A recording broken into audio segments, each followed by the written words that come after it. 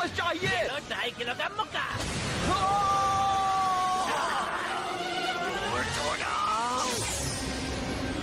ओ देखो। लगता है वॉच ऑर्डर विकसित हो रहा है।